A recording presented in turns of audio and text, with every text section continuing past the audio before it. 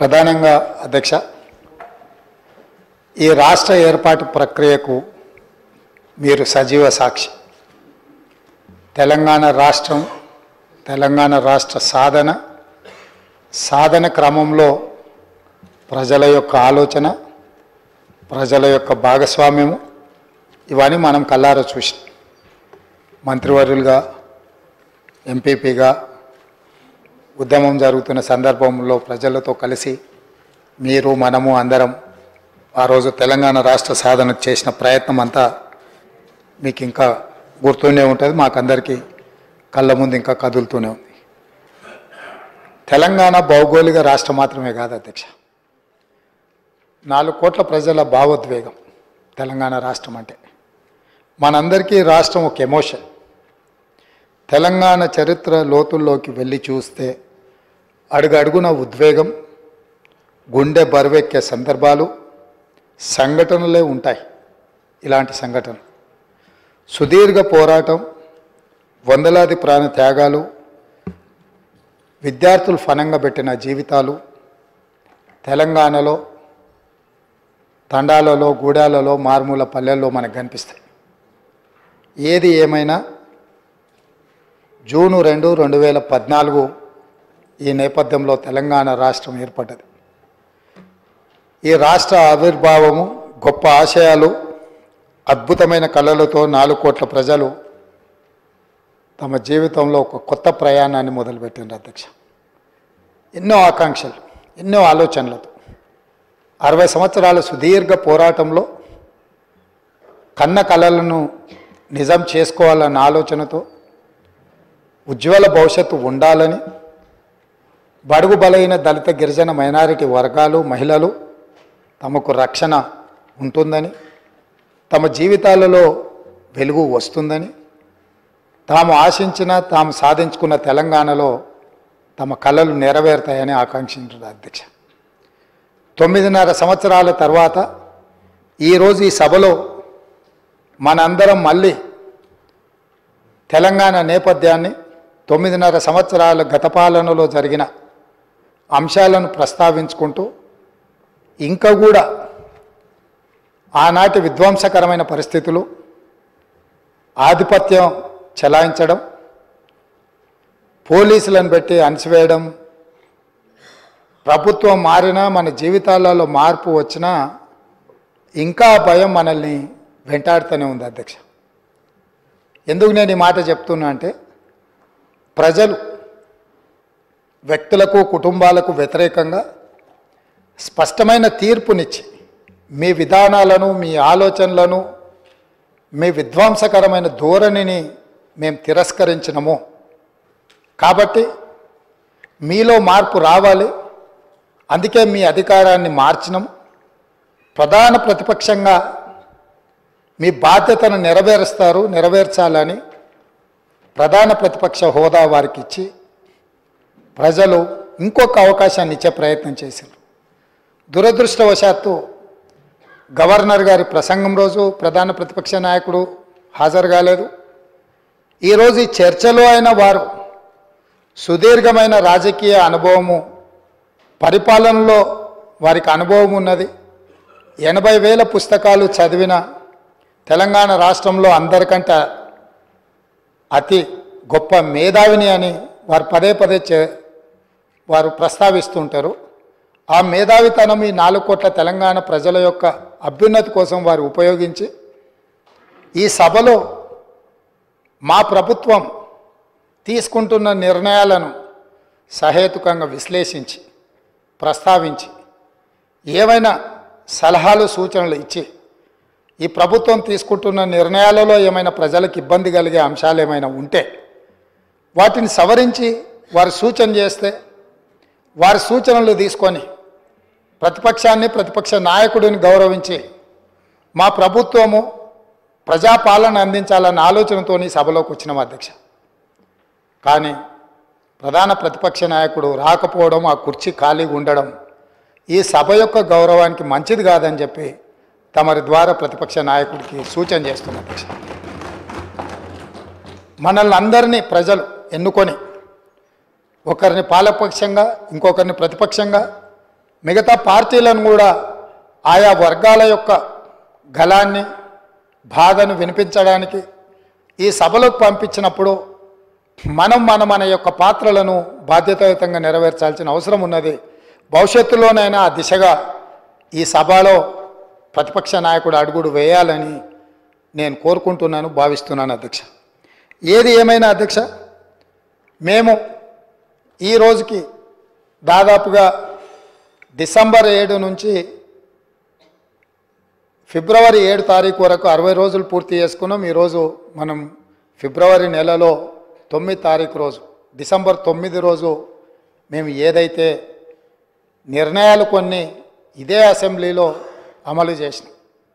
అందులో ప్రధానంగా ఆడబిడ్డలకు ఉచిత బస్సు రవాణా సౌకర్యము బాధతోని ఆసుపత్రులలో ఆర్థిక భారం ఎక్కువై అందక చాలామంది పేదలు చనిపోతుంటే రాజీవ్ ఆరోగ్యశ్రీ పథకాన్ని అమలు చేయడం జరిగింది. ఈ రోజుకు సరిగ్గా పథకాలు అమలు చేసి రెండు నెలలు పూర్తి చేసుకుంటున్న సందర్భంలో ఈ పథకాలు అమలు చేయడానికి సహకరించిన నా మంత్రివర్గ సహచరులకు మా శాసనసభ్యులందరికీ కూడా మనస్ఫూర్తిగా వారికి అభినందనలు తెలియజేస్తున్నా అధ్యక్ష. అదేవిధంగా అధ్యక్ష గతంలో జరిగిన చాలా లోపభుష్టమైన నిర్ణయాలు ఉన్నాయి. వాటిని సవరించుకుంటూనే వాటిని సరైన దిశగా తీసుకువెళుతూ ప్రజలకు ఒక మంచి పరిపాలన అందించాలని అహర్నిశలు ప్రతి నిమిషము మా ప్రయత్నం మేము చేస్తున్నాం అధ్యక్ష. ఇందులో భాగంగానే మొన్న జరిగిన క్యాబినెట్లో లేదా గవర్నర్ గారి ప్రసంగంలో కొన్ని ప్రధానమైన అంశాలను మేము పొందుపరచడం జరిగింది. నేను చూసిన డాక్టర్ పల్లా రాజేశ్వరరెడ్డి గారు మాట్లాడేటప్పుడు ప్రభుత్వం తీసుకున్న కొన్ని మంచి పనులను వారు అభినందిస్తారేమో అని అదేవిధంగా ప్రభుత్వం తీసుకుంటున్న నిర్ణయాలలో ఏమైనా ఒకవేళ వాళ్ళ దృష్టిలో సవరించుకోవాల్సిన సూచనలు ఏమైనా ఉంటే వారు సూచన చేస్తారేమో అని నేను ఆసక్తిగా విన్నా అధ్యక్ష. కానీ వారు ఆ దిశగా మాట్లాడుతున్నట్టుగా లేదు. వాళ్ళ నాయకుడిని ఒప్పించడానికో మెప్పించడానికో మా మీద దాడి చేసినట్టుగానే వారు మాట్లాడుతున్నారు. పర్వాలేదు. వారు అదే వాళ్ళ విధానం అయితే ప్రజలు గమనిస్తూనే ఉన్నారు అధ్యక్ష. అందుకే అధ్యక్ష ఈ సందర్భంగా మీ ద్వారా నాలుగు కోట్ల తెలంగాణ ప్రజల ముందు కొన్ని అంశాలను నేను ప్రస్తావించదలుచుకున్నా. మా మంత్రివర్గంలో తీసుకున్న నిర్ణయాల మీద ప్రధానంగా తెలంగాణ ఉద్యమం సందర్భంగా ఏ వీధుల్లో చూసినా ఏ వాహనం చూసినా ఎవరి చాలామంది ఉద్యమకారుల గుండెల మీద కూడా టీజీ అని పచ్చబొట్టు పొడిపించుకున్న సందర్భాలు ఉదంతాలు మనం చాలా చూసినాం. బండ్ల మీద రాసుకోవడమే కాదు. ఆనాడు ఏపీ అని ఉంటే ఏపీ వద్దు టీజీ ఉండాలి టీజీ కావాలి అని బండ్ల మీద టీజీ రాసుకోవడమే కాదు గుండెల మీద కూడా పచ్చబొడిపించుకున్న సందర్భాలు.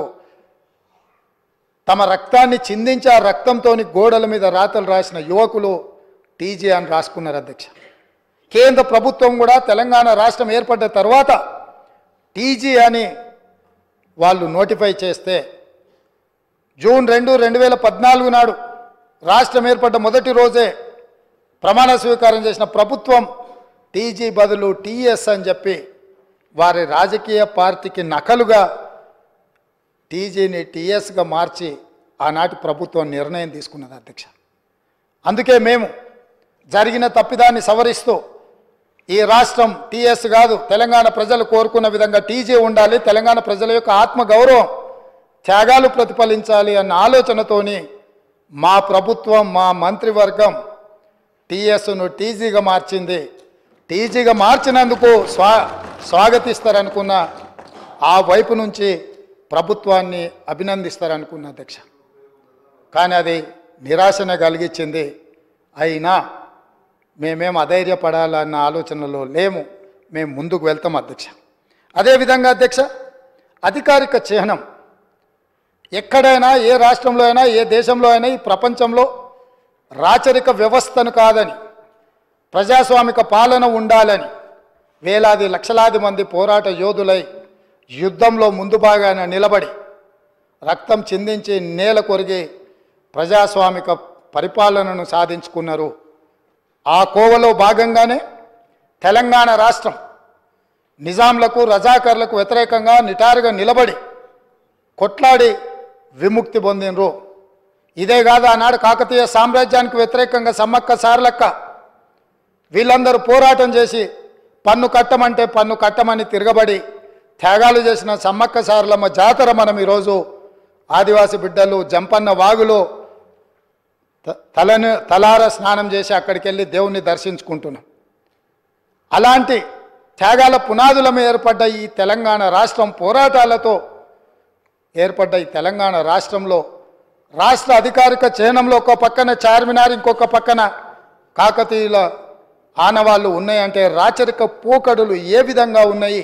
పాలకుల యొక్క ఆలోచన ప్రజాస్వామ్యానికి వ్యతిరేకంగా రాచరిక పోకడలతో రాష్ట్ర అధికారిక చిహ్నంలో రాచదర్పాలు ఉట్టిపడుతుంటే ఇంకా కూడా మనము గులాములుగా వెట్టి చాకిరి చేస్తూ బ్రతకాల్సిందేనా అన్న ఆలోచనతోటి మా మంత్రివర్గం అంతా ఆలోచన చేసి రాచరిక పోకడలు రాచరికపు ఆనవాళ్ళు ఉండడానికి వీల్లేదు. ఈ రాష్ట్రం ప్రజాస్వామిక రాష్ట్రం. ఈ రాష్ట్రంలో ప్రజలు ఎన్నుకున్న ప్రభుత్వం ఉంది. ప్రజా పాలన సాగుతుంది అని చెప్పి అధికారిక చిహ్నాన్ని మార్చాలన్న నిర్ణయం తీసుకున్నాం. ఆ నిర్ణయాన్నైనా వాళ్ళు స్వాగతిస్తారేమని చూసినాం అధ్యక్ష. గవర్నర్ గారి ప్రసంగంలో ఈ అంశాలన్నీ కూడా ప్రస్తావించిన ఎక్కడ కూడా వాళ్ళ యొక్క సానుకూలత ఈ విషయంలో కనిపించలేదు అధ్యక్ష. అదేవిధంగా అధ్యక్ష మనమందరం తెలంగాణ బిడ్డలం. దళితులు గిరిజనులు బలహీన వర్గాలు తండాలలో గూడెలలో ఆదివాసీలు అడవి బిడ్డలు మైనారిటీలు మహిళలు మన అందరికీ తెలంగాణ తల్లి అంటే మన అమ్మ మన అక్క మన సోదరి. మనం కల్లారా చూసిన మన అమ్మలు మన అక్కలు మన కుటుంబ పెద్దలు ఎవ్వరు కూడా వజ్ర వైదూర్యాలతోని కిరీటాలు పెట్టుకొని వడ్డానాలు పెట్టుకొని మనం ఎన్నడూ మన తెలంగాణ తల్లిని చూడలేదు అధ్యక్ష. కొంతమంది రాజులు రాచరిక పోకడులు ఉన్నవాళ్ళు ఘడీలలో ఉన్న పెత్తందారులు ఏమైనా కిరీటాలు పెట్టుకున్నారేమో భుజకీర్తులు పెట్టుకున్నారేమో నడుములకు వడ్డానాలు పెట్టుకున్నారేమో మాకు తెలియదు కానీ మా అమ్మలు నడుము బిగించి కొంగు చాకలి ఐలమ్మలాగా పోరాటాలు చేసిన స్ఫూర్తి ఈ గడ్డ మీద ఉన్నది. చాకలి ఐలమ్మ స్ఫూర్తిగా తెలంగాణ తల్లి ఉంటుందని మేము అనుకున్నాం. తెలంగాణ తల్లి అంటే ధీశాలి పోరాట యోధురాలుగా ఉంటుంది. లేకపోతే దర్పం ఉట్టిపడే కళ్ళల్లో కాంతి ముఖంలో వర్చస్సు చూపులో ప్రేమ ఆప్యాయత ఒక తల్లి తన బిడ్డను ఎంత ఇష్టంగా ఎంత ప్రేమగా చూస్తుందో ఆ విధంగా తెలంగాణ తల్లి ఉంటుంది అని మేము ఆశించినాం ఉండాలని మేము ఆశించినాం. కానీ రాచరిక పోకడలతో కిరీటాలు వజ్ర వైదూర్యాలతో తెలంగాణ తల్లిని మనకు రుద్దాలనే ప్రయత్నం చేసిండ్రు. అందుకే కవులు కళాకారులకు నిలయమైన ఈ తెలంగాణ రాష్ట్రంలో కవుల కళాకారుల నుంచి సూచన తీసుకొని మన అమ్మలాగా మన తెలంగాణ తల్లి ఉండాలి. ఆ తెలంగాణ దర్పం ఉట్టిపడే ఉండ ఉట్టిపడే విధంగా తెలంగాణ తల్లి ఉండాలని మంత్రివర్గం నిర్ణయం తీసుకుంటే కనీసం తెలంగాణ తల్లి విషయంలోనైనా రాజకీయ విభేదాలను ఆలోచనలను పక్కన పెట్టి ప్రతిపక్షం కలిసి వస్తుందేమో అని మేము చూసినాం అధ్యక్ష. కానీ మాకు నిరాశనే మిగిలింది అధ్యక్ష.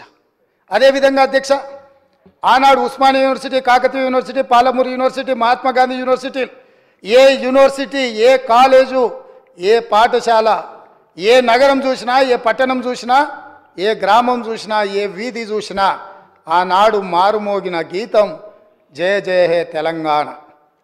ఈ గానం అందశ్రీ అనే ఒక కవి తెలంగాణ ప్రజలకు అందించి గుండెల నిండా ఊపిరి పీల్చుకొని లక్షలాది మంది తెలంగాణ ఉద్యమకారులు నిరుద్యోగ యువకులు విద్యార్థులు తెలంగాణ ఉద్యమంలో ముందు భాగాన నిలబడి పోరాటం చేసి ఆనాటి పాలకుల యొక్క దాష్టికానికి నేల కొరిగినా కూడా జయ జయ హే తెలంగాణ నినాదంతో ఈ తెలంగాణ రాష్ట్రాన్ని సాధించినరు ఈ రాష్ట్రాన్ని సాధించిన జయ జయ హే తెలంగాణ గీతం ఈ తెలంగాణ రాష్ట్రీయ గీతంగా మారుతుంది అని చెప్పి నాలుగు కోట్ల తెలంగాణ ప్రజలు భావించిండ్రు ఆశించిండ్రు ఆకాంక్షించిండ్రు కానీ ఈ గొప్పతనం ఒక దళిత బిడ్డకు ఈ గొప్పతనం ఆనాడు ఉద్యమాన్ని ఉవ్వెత్తున ముందుకు నడిపించిన ఒక ఉద్యమకారుడికి ఇవ్వకూడదన్న ఆలోచనతో కుట్రతో నాటి పాలకులు జయ జయ తెలంగాణ గానాన్ని గీతాన్ని తెలంగాణలో వినిపించకుండా నిషేధించినంత పనిచేసిండ్రు అధ్యక్ష.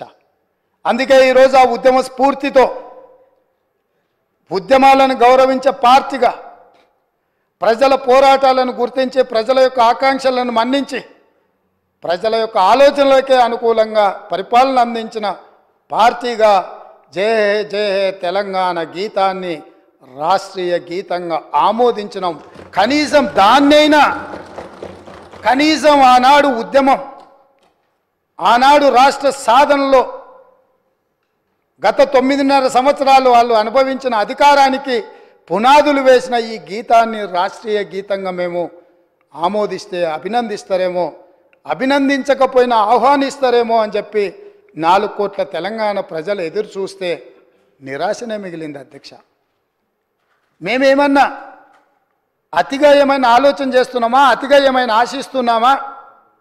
లేకపోతే ఏమైనా అడగకూడని ఆశించింది ఏమైనా మేము ఆలోచన చేస్తున్నావా? నాకైతే అర్థం కాలేదు అధ్యక్ష మీరైనా మాకేమైనా మా ఆలోచనలో తప్పు ఉంటే మాకు సూచన చేయండి.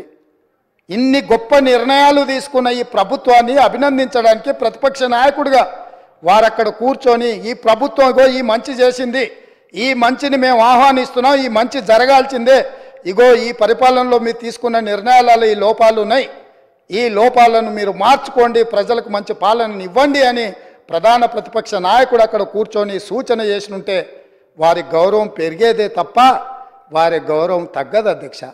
ఆ కుర్చీ అట్లా ఖాళీగా కనిపించడం ఈ సభకి ఏమైనా శోభ తెస్తుందా అధ్యక్ష?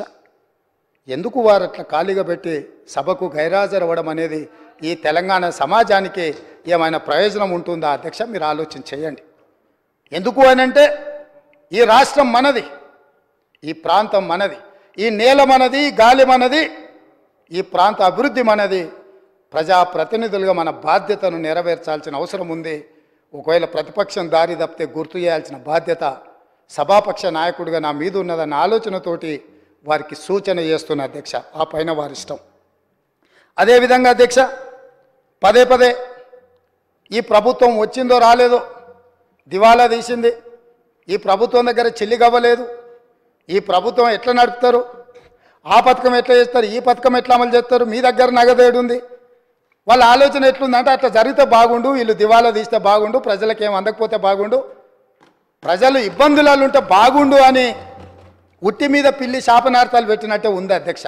పిల్లి శాపనార్థాలకు ఉట్టి తెగిపడుతుంది అధ్యక్ష. అట్లనే తొమ్మిదిన్నర సంవత్సరాల అధికారంలో ఉన్న మీరు కనీసము వంద రోజులు కాకముందే రోజు పొద్దున్న లేస్తే ఈ శాపనార్థాలు ఏంది అధ్యక్ష? నేను మీకు గుర్తు చేయదలుచుకున్న అధ్యక్ష వాళ్ళు అధికారంలో ఉన్నప్పుడు గత ప్రభుత్వం ప్రభుత్వ ఉద్యోగులు ఇక్కడ ఉన్నారు బయట కూడా ఉన్నారు. ఈ ప్రభుత్వ ఉద్యోగులకు గత ప్రభుత్వాలు ఎన్ని ఉన్నా ఒకటి తారీఖు నాడు జీతాలు రిటైర్ అయిన ఉద్యోగులకు పెన్షన్లు ఇచ్చేది అధ్యక్ష.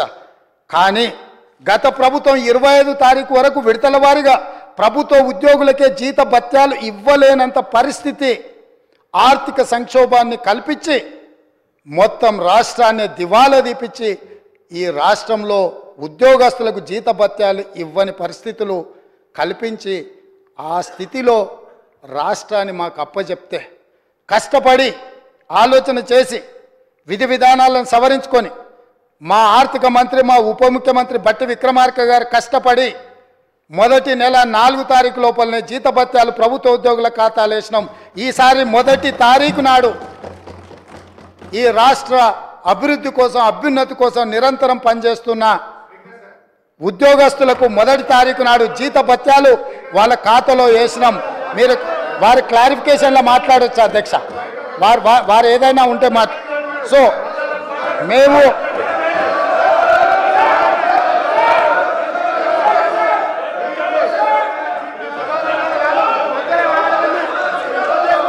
అధ్యక్ష దాదాపుగా దాదాపుగా మొదటి తారీఖు నాడు నాలుగు వేల ఎనిమిది వందల నాలుగు వేల ఎనిమిది వందల కోట్ల రూపాయలు ప్రభుత్వ ఉద్యోగులకు పెన్షన్దారులకు speaker sir I'm not yielding. శాసనసభ వ్యవహారాల మంత్రిగా వారు పనిచేసిన అనుభవం ఉంది హరీష్ రావు గారికి. శాసనసభ వ్యవహారాల మంత్రిగా సభానాయకుడు నిలబడి మాట్లాడుతున్నప్పుడు కనీస గౌరవం కానీ పాటించాల్సిన బాధ్యత వారి మీద ఉన్నది. కాబట్టి ప్రభుత్వ ఉద్యోగులకు పెన్షన్దారులకు ఈ నెల మొదటి తారీఖు నాడు మేము జీత భత్యాలు వాళ్ళ ఖాతాలో వేసినాం అధ్యక్ష. కనీసం ఈ విషయమైనా ఈ విషయమైనా ఈ విషయమైనా వారు అభినందిస్తారేమని మేము ఆలోచన చేసినాం అధ్యక్ష. అయినా వాళ్ళకి మనసు రాలేదు అధ్యక్ష. ఎందుకంటే ప్రజాస్వామిక పరిపాలననే వాళ్ళకు నచ్చదు. కాబట్టి కాబట్టి వాళ్ళకు అభినందించాలన్న ఆలోచననే రాలేదు అధ్యక్ష. అదేవిధంగా అధ్యక్ష అదేవిధంగా పదే పదే రైతు బంధు గురించి రైతు బంధు పడలేదని రైతులను నిజంగానే వీళ్ళు రాజులను చేసినట్టుగా ఇట్లాంటి మాటలతో ఇంకా భ్రమలు పెట్టాలనే ప్రయత్నం చేస్తారు అధ్యక్ష. ఈరోజు నేను మీకు గుర్తు చేయదలుచుకున్నా అధ్యక్ష మీ ద్వారా వాళ్ళకు కూడా గుర్తు చేయదలుచుకున్న ఆర్థిక మంత్రి అక్కడనే ఉన్నాడు? లెక్కలు ఇక్కడనే ఉన్నాయి. ఈ లెక్కలన్నీ నేను చెప్తాను కాదంటే వారి వారి అవకాశం వచ్చినప్పుడు మీ అనుమతితో వారు మాట్లాడమని అధ్యక్ష. రైతు బంధు ఇంకా వేయలేదు. ఎక్కడ పోయింది ప్రభుత్వం చెప్పిండ్రు కదా? పదే పదే మాట్లాడుతున్నారు. అధ్యక్ష రెండు వేల పద్దెనిమిది పంతొమ్మిది యాసంగి రైతు బంధు ఇరవై పది రెండు వేల పద్దెనిమిది నాడు మొదలుపెట్టి ముప్పై మూడు రెండు వేల పంతొమ్మిది. ఐదు నెలలు పట్టింది అధ్యక్ష. రెండు వేల పద్దెనిమిది పంతొమ్మిదిలో యాసంగి పంట రైతు బంధు డిసెంబర్ అటు పదో నెలల మొదలు పెడితే పంతొమ్మిదిలో మార్చి ముప్పై తారీఖు వరకు వేసిండ్రు అధ్యక్ష. ఐదు నెలలు పట్టింది వాళ్ళకు. రెండు వేల పద్దెనిమిది పంతొమ్మిదిలో రైతు బంద్ వేయడానికి. వస్తున్న వస్తున్న ఎలక్షన్ ఇయరే కాదు ఆ తర్వాత సంవత్సరాలు కూడా ఉన్నాయి. తొందర ఎందుకు? పంతొమ్మిది ఇరవైలో యాసంగి ఇరవై ఎనిమిది ఒకటి రెండు వేల ఇరవై నాడు మొదలుపెట్టి ఇరవై మూడు పది రెండు వేల ఇరవై తొమ్మిది నెలలు పట్టింది అధ్యక్ష. ఒక్క యాసంగి పంటకు రైతు బంద్ వేయడానికి తొమ్మిది నెలల ఆనాటి ప్రభుత్వం తీసుకున్నది అధ్యక్ష. వీళ్ళ చరిత్ర. ఇక మీ కరోనా వచ్చిందో ఇంకా మీ కర్మ కాలిందో నేనేం చెప్తా కానీ రెండు వేల ఇరవై ఇరవై ఒకటి అధ్యక్ష ఇరవై ఐదు పన్నెండు రెండు వేల ఇరవై నాడు మొదలుపెట్టి ఇరవై రెండు నాలుగు రెండు వేల ఇరవై ఒకటి నాలుగు నెలలు పట్టింది అధ్యక్ష.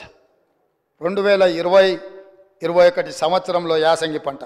రెండు వేల ఇరవై రెండు ఇరవై మూడు అధ్యక్ష ఇరవై ఒకటి పన్నెండు రెండు వేల ఇరవై రెండు నాడు మొదలుపెట్టి పది నాలుగు రెండు వేల ఇరవై మూడు.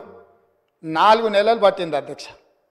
ఒకసారి అడుగుతున్నాం ఎన్నికలు అంటుండ్రు రెండోసారి అడుగుతున్నాం కరోనా అంటుండ్రు మూడోసారి అడుగుతున్నాం మా మామ చెప్పలేదంటున్నారు నాలుగోసారి అడుగుతున్నాం అల్లుడు తిరగనికి పోయినని చెప్పేటట్టు అధ్యక్ష. ఎట్లా అధ్యక్ష? మీ పరిపాలన స్పష్టంగా అధికారిక లెక్కలు ఈ రకంగా చెప్తుంటే మేము వచ్చిందే మొన్న అరవై రోజులు కాలేదు. ఆల్రెడీ మేము క్లియర్గా చెప్పినాము. వంద రోజుల్లో వాటిని పూర్తి చేస్తామని. అయినా అప్పుడే రైతు బంధు ఇవ్వలేదు అని గగ్గోలు పెట్టి రైతులను రెచ్చగొట్టాలన్న ప్రయత్నం చేస్తే రైతులేమన్నా అమాయకుల అధ్యక్ష వాళ్ళకి తెలీదా? ఎవరి చిత్తశుద్ధి ఏంది? ఎవరి ఎవరి ఆలోచన ఏంది? ఎవరు ఏం చేస్తుండ్రు? ఎవరు ఏ రకంగా వివరిస్తుండ్రో తెలీదా అధ్యక్ష? అదేవిధంగా అధ్యక్ష అదేవిధంగా అధ్యక్ష ఆర్టీసీ బస్సు మహిళల గురించి వీళ్ళు మాట్లాడుతున్నది వాళ్ళకి నష్టం జరిగింది. ఆటో డ్రైవర్లు అని ఒక ఆయన ఆటో రాముడు కృష్ణానగర్లో కృష్ణానగర్లో మొత్తం సినిమాకి సంబంధించిన వాళ్ళే ఉంటారు. సురభి నాటకాలు వేసేవాళ్ళు సినిమాలో. చిత్రసీమలో ఎక్స్ట్రా ఎక్స్ట్రా క్యారెక్టర్స్ అంటారు. ఏమంటారు వాళ్ళను? ఎక్స్ట్రా అంటే ఎక్స్ట్రా ప్లే ఎక్స్ట్రా ఆర్టిస్ట్లు అంటే ఏమంటారు? జూ జూనియర్ ఆర్టిస్టులు కృష్ణానగర్లు ఉంటారు.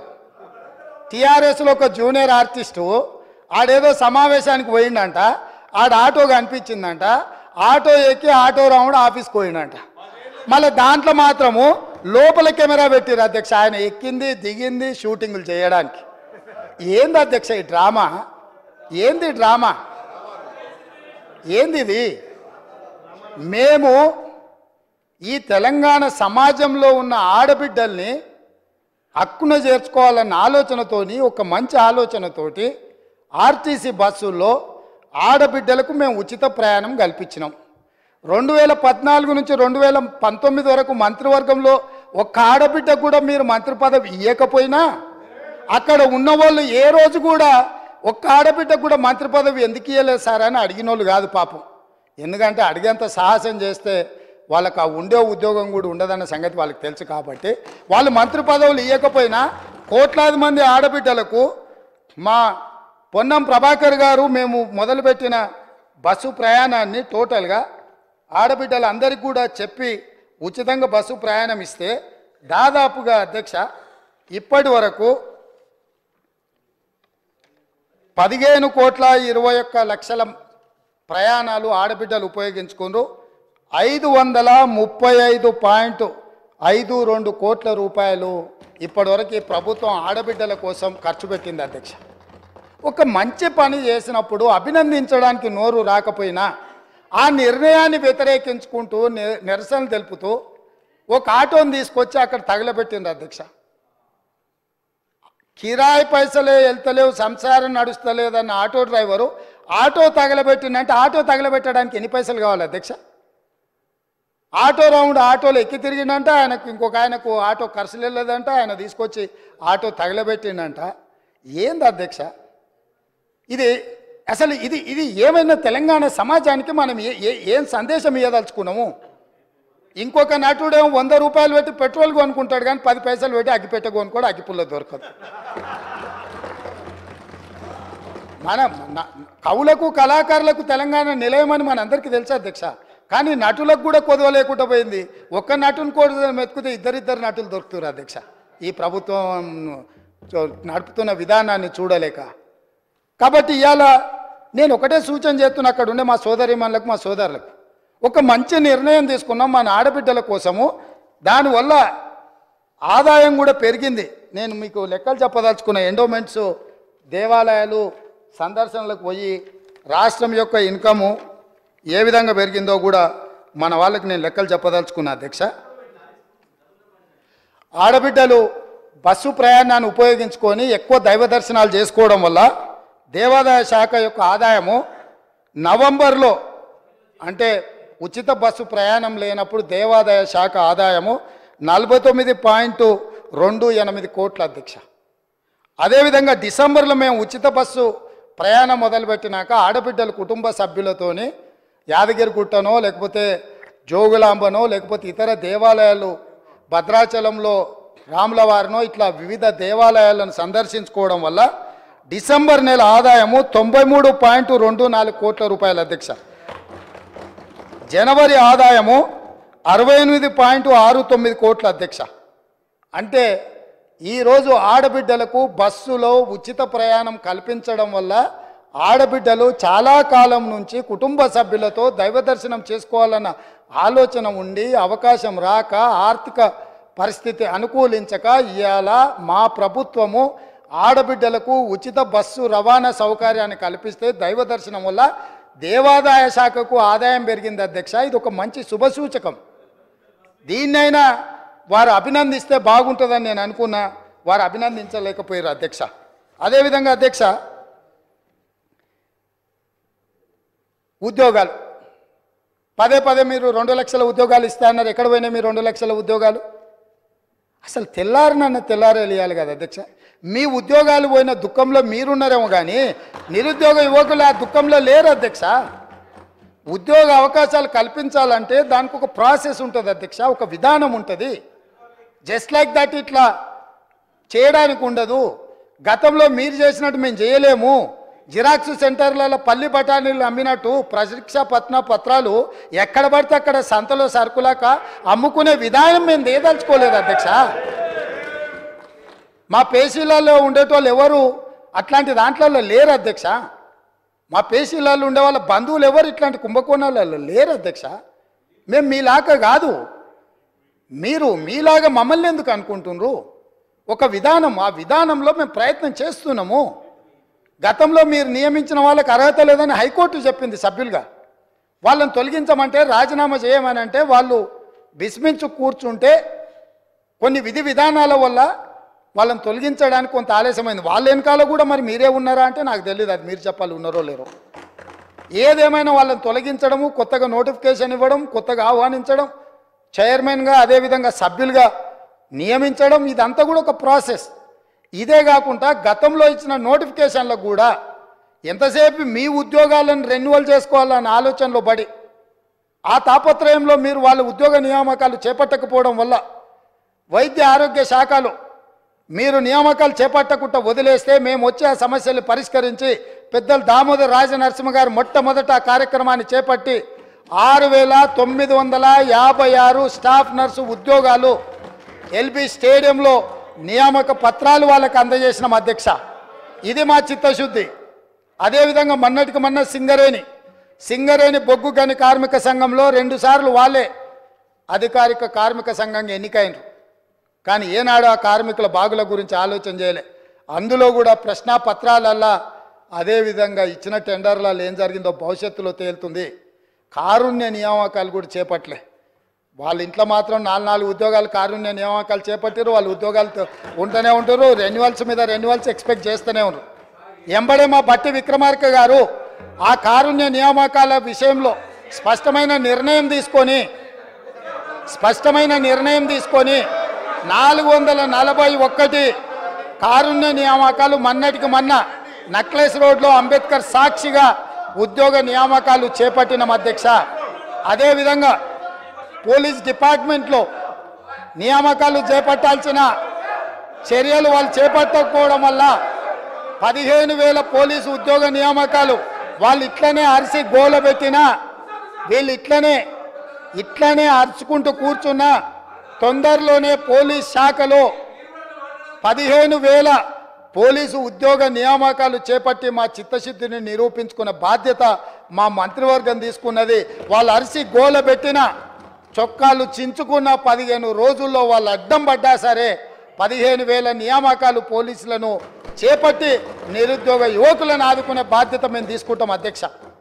కాబట్టి ఇవాళ గ్రూప్ వన్లో కూడా పరీక్షలు లోపభూయిష్టంగా నిర్వహించడం వల్ల high court single bench high court divisional bench అన్ని కోర్టులు వీళ్ళు అవలంబించిన విధానాలను కోర్టు కొట్టేస్తే లక్షలాది మంది నిరుద్యోగ యువకులు పరీక్షలు రాసి మీ చేతగాని తనం వల్ల వాళ్ళ జీవితాలతో చెలగాట మాడుతుంటే కొత్త బోర్డునేసి అదనంగా ఖాళీలను అన్నిటిని కూడా కలిపి ఈరోజు గ్రూప్ వన్ పరీక్షలకు మా ప్రభుత్వం క్లియరెన్స్ ఇచ్చింది.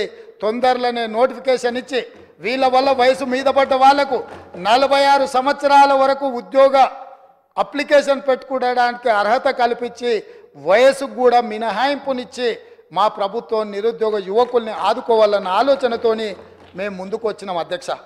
అదేవిధంగా అధ్యక్ష మా సోదరుడు అక్బరుద్దీన్ ఓవైసీ గారు మైనారిటీకి సంబంధించిన విషయాలలో కూడా చాలా ఇష్యూస్ వారు లేవనెత్తడం జరిగింది. ప్రతి దగ్గర మైనారిటీలకు అవకాశం ఇవ్వండి అని కూడా వారు మా దృష్టికి తీసుకొచ్చిండ్రు అధ్యక్ష. నేను వారికి గుర్తు చేయదలుచుకున్నాను అధ్యక్ష తమరి ద్వారా.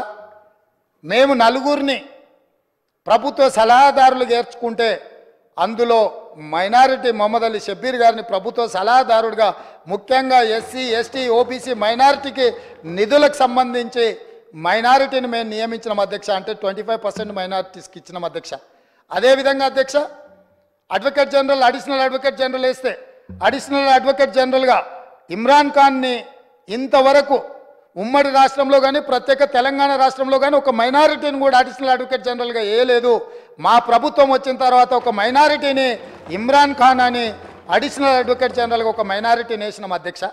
అదేవిధంగా ముఖ్యమంత్రి గారి పేసీలో ఆనాడు రాజశేఖర రెడ్డి గారు ఉన్నప్పుడు జన్నత్ హుసేన్ అని ఒక మైనారిటీకి సంబంధించిన ఐఏఎస్ అధికారిని నియమిస్తే ఈనాడు మా ప్రభుత్వం మా మా ముఖ్యమంత్రి కార్యాలయంలో మేము షానవాజ్ కాసిం అనే ఐపీఎస్ ఆఫీసర్ని మా ముఖ్యమంత్రి కార్యాలయంలో మైనారిటీకి మేము అవకాశం ఇచ్చినాం అధ్యక్ష.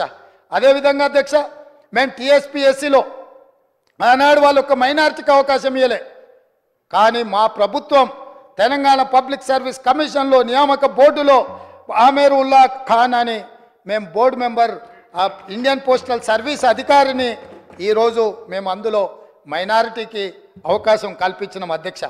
అంటే మా ప్రభుత్వం ఏ విషయంలో అయినా మైనారిటీల యొక్క హక్కులకు మైనారిటీలకు కావలసిన రావలసిన వాటాలను కోటాలను చాలా చిత్తశుద్ధితో వీటిని అమలు చేస్తాం. గవర్నర్ గారి కోటాలో మేమిద్దరిని ఎమ్మెల్సీలు చేస్తే ఒక ఎమ్మెల్సీని మైనారిటీ నియమించడం ద్వారా రాజకీయంగా కూడా వాళ్ళకు వేదిక కల్పించాలన్న ఆలోచనతోటి మైనారిటీలకు మేము అవకాశం కల్పించినాం అధ్యక్ష.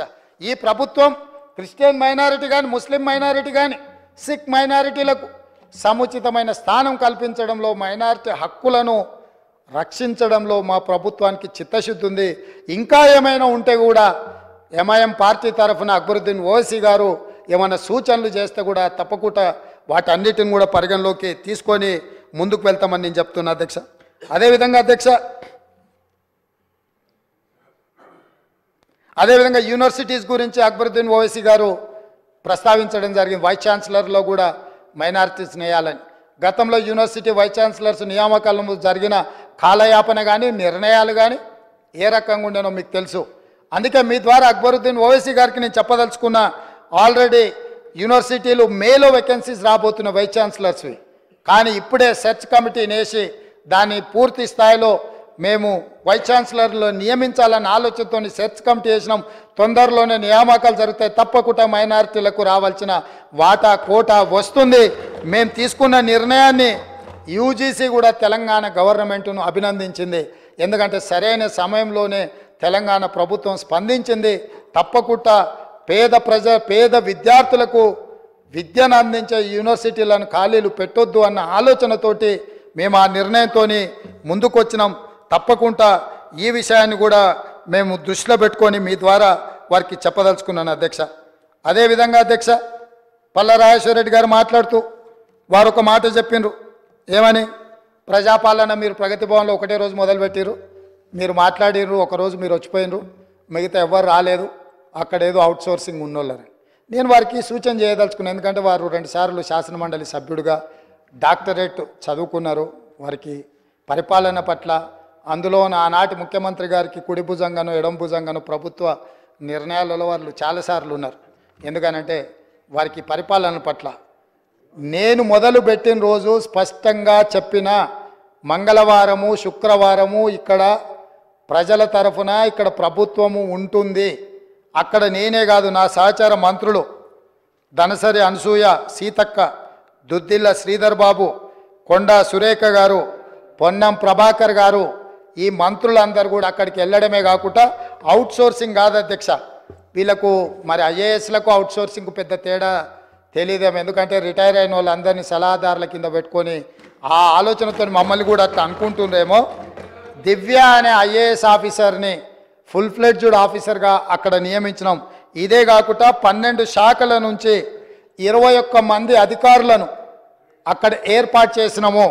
అదేవిధంగా అక్కడ హౌసింగ్ అంటే అక్కడ వచ్చే మెజారిటీ సమస్యలు ప్రజలు వస్తున్నాయి ధరని లేకపోతే హౌసింగ్. ఎవరి పాపం అధ్యక్ష ఇది? ఈ పాపాన్ని ఎవరు మూట కట్టుకున్నారు? ఆనాడు ఇందిరమ్మ ఇండ్లు మేము ఇస్తే పదేళ్ళలో మీరు ఏ పేదోడికి ఇల్లు ఇవ్వకపోవడం వల్లనే కదా ఇవాళ వేలాది మంది పంజగుట్ట వరకు ట్రాఫిక్ జామ్ అయ్యే పరిస్థితులు ప్రజలు. మీరు ఎన్నడూ ఆ గేట్ల దగ్గరికే రానియలేదు కదా. పదిహేను పదిహేను ఫీట్ల ముళ్ళ కంచెలు అడ్డం పెట్టి పోలీసుల పహారల మధ్య మీరు కాపలా కాసి తెలంగాణ వాడు అనేటోడు ఎవడు?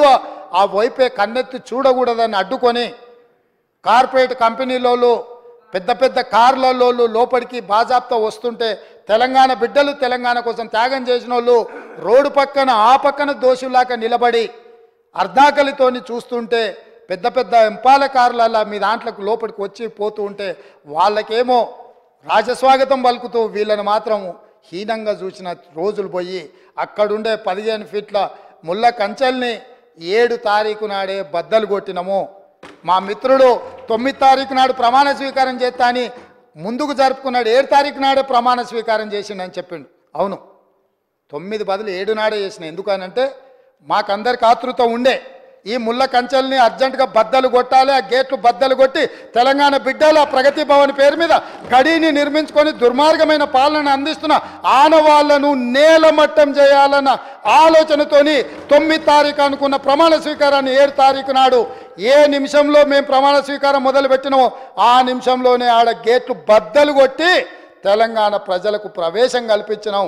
ఆ ఆనందం చూస్తే శ్రీలంకలో రాజపక్షే స- రాజ సౌధం మీద శ్రీలంక ప్రజలు ఏ రకంగా ఆ రోజు ప్రవర్తించినరో ఇక్కడ కూడా అదే విధంగా తెలంగాణ ప్రజలు అక్కడికి వచ్చారు అధ్యక్ష. ఇది కళ్ళ ముందు జరిగిన చరిత్ర. అందుకే తొమ్మిది తారీఖు బదులు ఏడు తారీఖు నాడు ప్రమాణ స్వీకారం చేపట్టిన అధ్యక్ష. ఈ ముళ్ళకంచెల్ని బద్దలు కొట్టడానికే ఆ గేట్లు తెరు బార్లా తెరిచి మా తెలంగాణ బిడ్డలు అందులోకి రావడానికి. ఎందుకంటే వాళ్ళ రక్తాన్ని చెమటగా మార్చి కట్టిన పన్నులతో కట్టిన సౌదాలు అవి. అవి మీకు శ్వేత సౌదాలేమో కానీ మీరు మీరు ఏ సౌదాలని మీరు అనుకుంటుండ్రో మాకు తెలియదు కానీ మా ప్రజలకు అక్కడి నుంచి మంచి పరిపాలన అందించాలన్న ఆలోచన మాది. అందుకే మేము దానికి జ్యోతిరావు పూలే పేరు పెట్టినాం అధ్యక్ష. బలహీన వర్గాలకు ఆరాధ్య దైవమన సామాజిక న్యాయానికి ప్రతీకైన జ్యోతిరావు పూలే పేరు దానికి పెట్టి అక్కడి నుంచి మంచి పరిపాలన అందించాలన్న ఆలోచన చేస్తున్నాం. కనీసం వాళ్ళనైనా ఆ నిర్ణయానైనా మీరు అభినందిస్తారేమో అనుకున్నాం కానీ ఎందుకో మరి మీకు మనసు రాలే. అదేవిధంగా అదేవిధంగా అధ్యక్ష.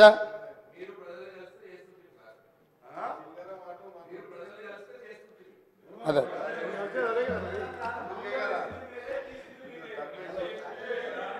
ఇక పాపం వాళ్ళ ఏంటంటే వాళ్ళకి ఆదర్శ దైవము వాళ్ళ కులదైవం కిరణ్ కుమార్ రెడ్డి గారే ఉన్నట్టున్నారు. ఎందుకంటే వాళ్ళకంటే ముందు కిరణ్ కుమార్ రెడ్డి గారే ఉండే. వారి వారసత్వం వీరు పుణికిపుచ్చుకున్నట్టున్నారు ఏదున్నా గత ప్రభుత్వం వేసింది గత ప్రభుత్వం వేసిందంటే గత ప్రభుత్వం ఎవరు అధ్యక్ష? కిరణ్ కుమార్ రెడ్డి కదా? ఆ కిరణ్ కుమార్ రెడ్డి ఎవరు అధ్యక్ష? వాళ్ళకు ఆదర్శ రాముడా? ఇట్లున్నది వాళ్ళ వాళ్ళ వాళ్ళ అవగాహన.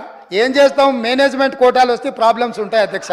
చదువుకుంటే కొంచెం మెరిట్ ఉంటే ఈ సమస్యలు ఉండవు. కొ- కొంచెం అవగాహన కల్పించుకోవాలి అధ్యక్ష. గుంటూరులో చదువుకున్న వాసనలు ఇంకా పోయినట్లేవు అధ్యక్ష. అదేవిధంగా అధ్యక్ష ఇట్లా తెలంగాణ చరిత్ర మసకబారిపోతే సానబట్టి వెలికి తీసి మట్టిలో మాణిక్యాలను బయటికి దేవాలన్న ప్రయత్నం మా ప్రభుత్వం చేస్తుంది. అందుకే ఈరోజు మేము ఈ విధానాలను అన్నిటిని కూడా ఒక బాధ్యతాయుతంగా ఒక యజ్ఞంగా మేము ముందుకు తీసుకెళ్తున్నాం అధ్యక్ష.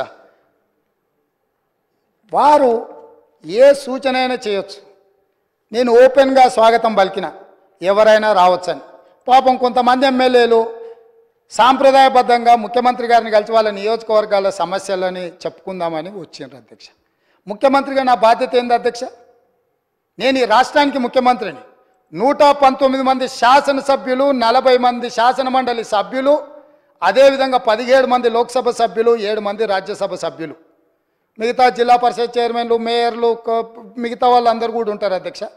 ముఖ్యంగా ఈ సభలో ఉన్న సభ్యులు ఎవ్వరు వచ్చినా కలవాలనుకున్నప్పుడు వాళ్ళకి సమయం ఇచ్చి వాళ్ళు తీసుకొచ్చిన అంశాలను పరిగణలోకి తీసుకొని చేయగలిగింది ఏదైనా ఉంటే చేయాలనేది నా ఆలోచన అధ్యక్ష.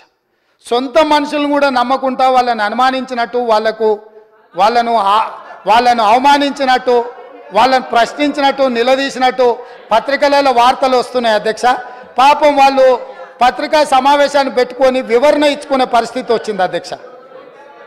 అట్లా అనుమానించకండి మేము మీలాక కాదు. మేము మీలాక బురద జల్లము. గౌరవపూర్వకంగా మర్యాదపూర్వకంగా సమస్యలను తీసుకొని వినతి పత్రాలు తీసుకొచ్చే శాసనసభ్యులు ఎవరైనా మా ప్రభుత్వం కలుస్తుంది వాళ్ళు చెప్పేది వింటుంది. మా ప్రభుత్వము అంత మీలాగా వ్యవహరించదు.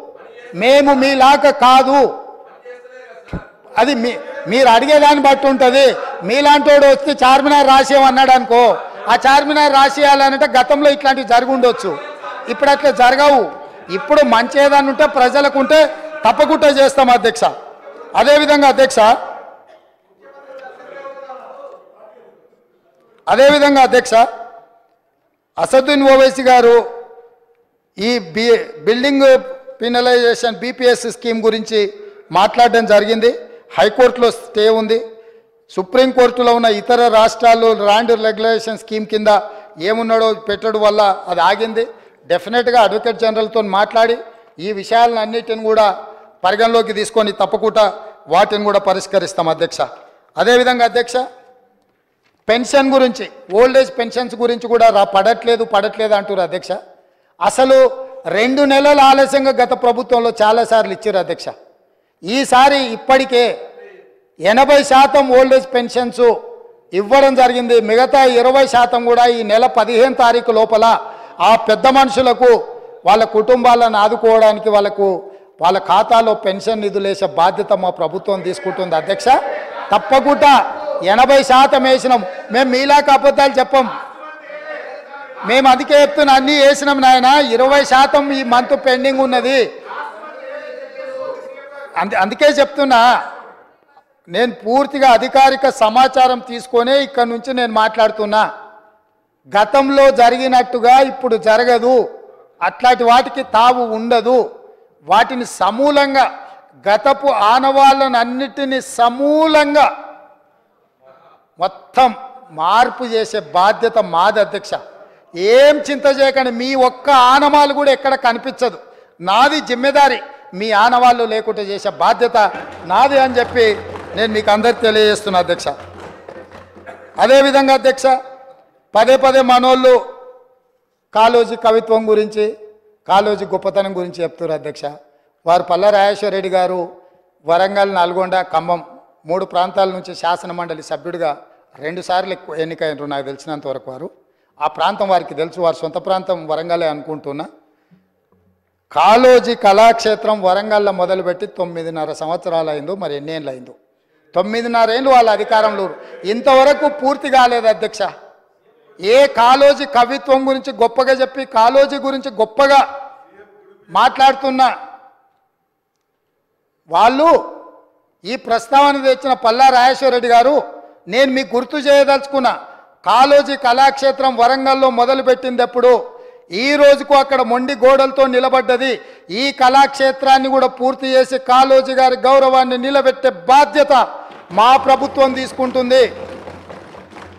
తొమ్మిది నెలల్లో ప్రగతి భవన్ పట్టుకోగలుగుతారు మీరు ఉండడానికి రాజ్యసౌధం అదేవిధంగా ఎంతమంది అడ్డం పడ్డా మీ వాస్తు సరిగ్గా లేదనో మీ దశ దిశ మార్చుకోవడానికో సచివాలయాన్ని ఆగ మేఘాల మీద పూర్తి చేసుకున్నారు.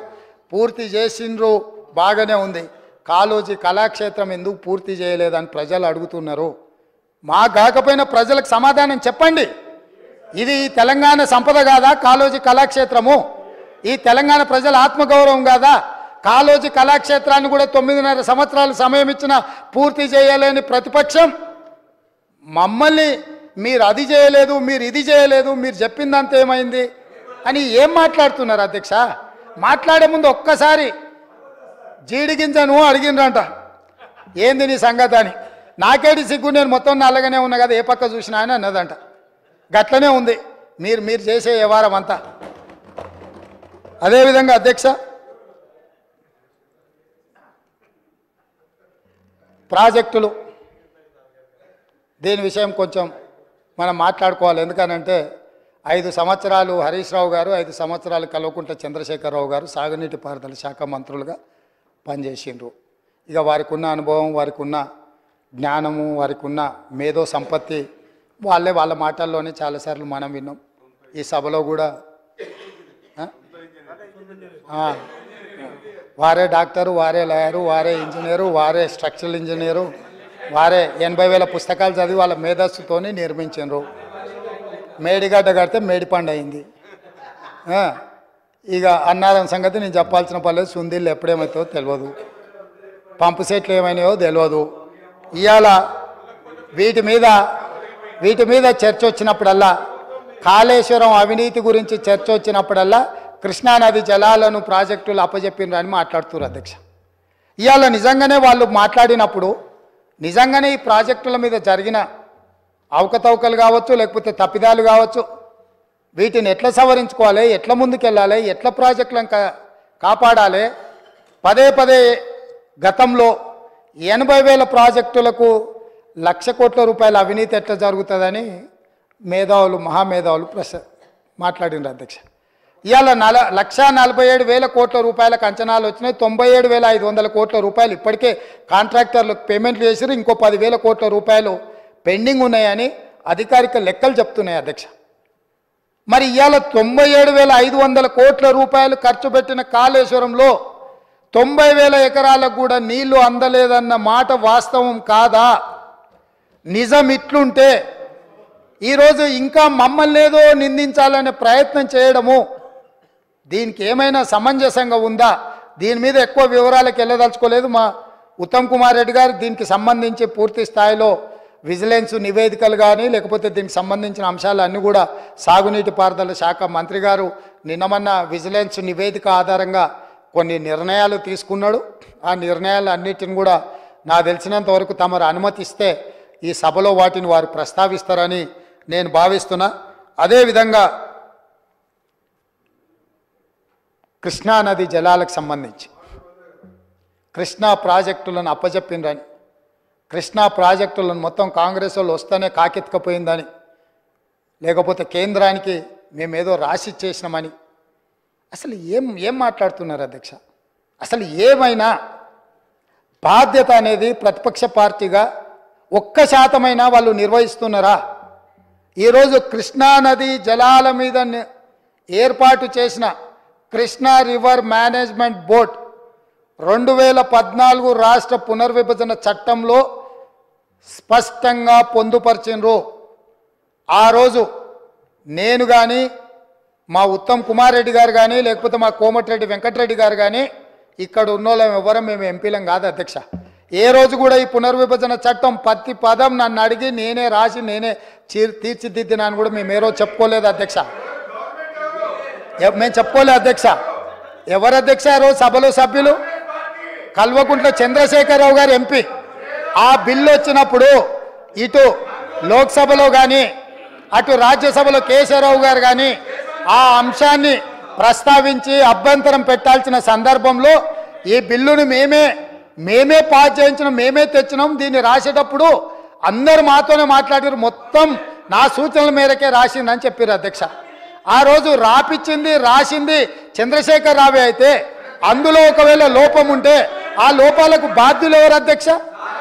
ఈనాడు ప్రతిపక్ష నాయకుడు ఆ లోపాలకు బాధ్యుడు కాదా అని నేను మీ ద్వారా అడగదలుచుకున్న అధ్యక్ష వాళ్ళను.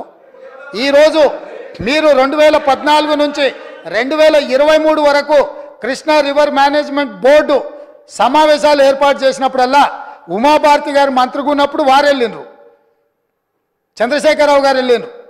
వివిధ సందర్భాలలో వీళ్ళే అధికారికంగా వెళ్ళిండ్రు ఇంతవరకు నేను మా ఉత్తమ్ కుమార్ రెడ్డి గారు ఏ సమావేశాలకు పిలవలేదు మేము వెళ్ళలేదు అధ్యక్ష.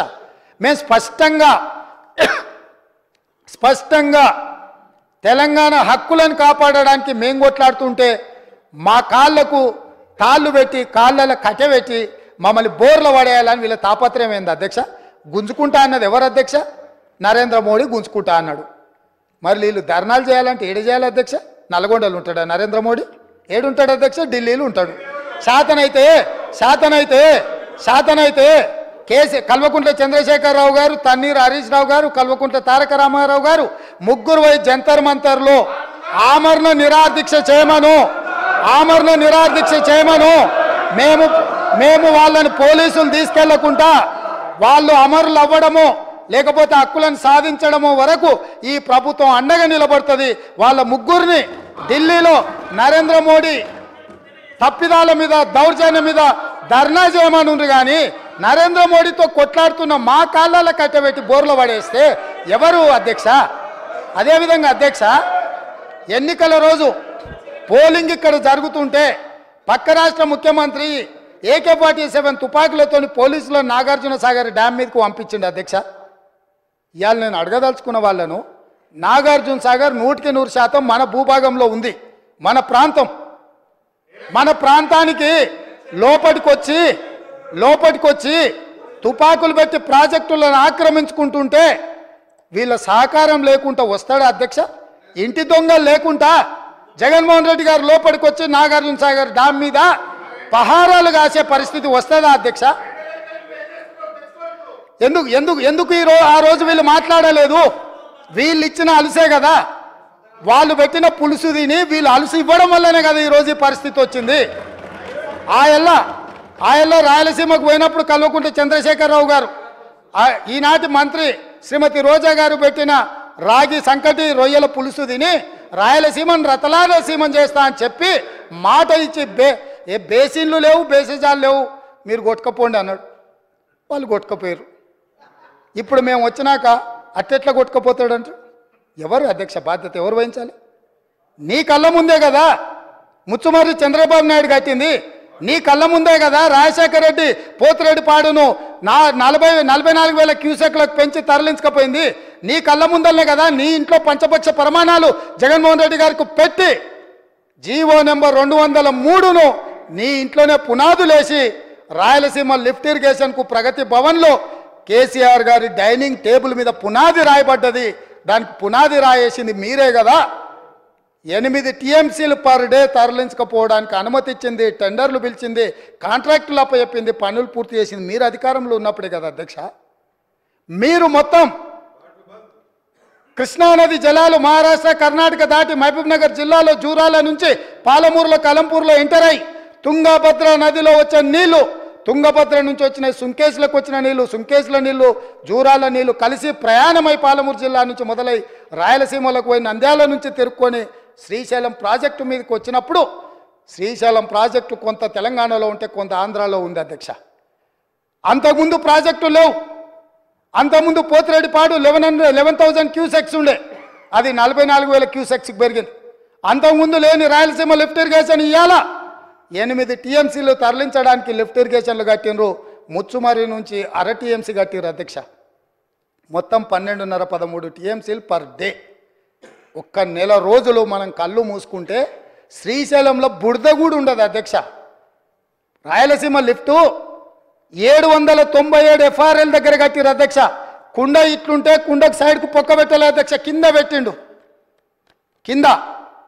వీళ్ళు పిలిచి పంచపక్ష ప్రమాణాలు వీళ్ళు పెట్టిండ్రు. జగన్మోహన్ రెడ్డి వీళ్ళ కింద బొక్క పెట్టిండు అధ్యక్ష.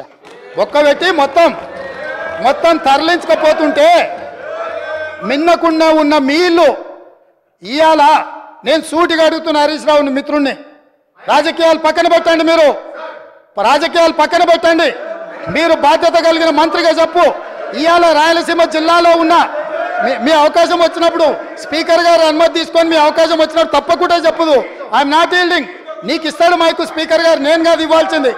స్పీకర్ సార్ ఇవాళ మన భూభాగంలో మన భూభాగంలో ఉన్న నాగార్జున సాగర్ మీదకి మన భూభాగంలో ఉన్న నాగార్జున సాగర్ మీదకి తుపాకులతో జగన్మోహన్ రెడ్డి వచ్చి ఆక్రమించుకుంటే చేతగాక చేతగాని సన్నాసులాక ఇక్కడ ప్రభుత్వం చూస్తుంటే ఇవాళ రాయలసీమలో ఉన్న ప్రాజెక్టుల నుంచి నీళ్ళు తరలించకపోతుంటే ఎవరు అడ్డుకోవాలి అధ్యక్ష?